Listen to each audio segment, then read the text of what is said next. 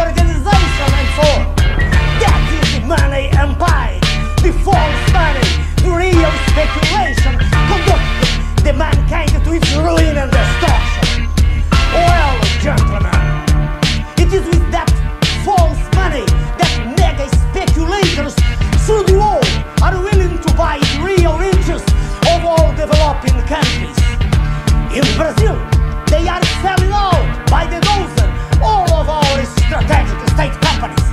Right words are these. They are giving away all of our strategic resources, including the Vale do Rudolfi Company, the greatest iron mining company in the world, by only $3 billion, equivalent to less than half of 1% of its estimated value. In Brazil,